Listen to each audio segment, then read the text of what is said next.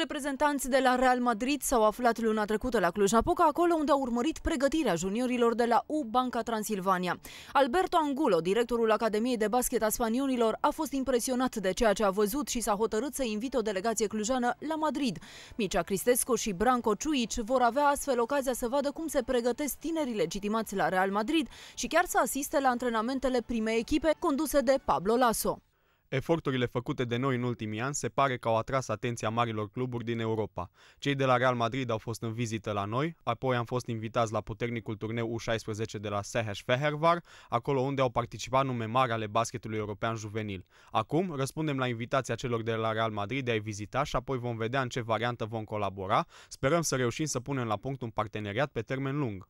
Fondată în anul 1931, secția de basket a clubului Real Madrid a câștigat până acum 33 de titluri ale Spaniei, precum și 27 de cupe. Totodată, madrilenii și-au adjudecat Euroliga de 9 ori, ultima dată în 2015.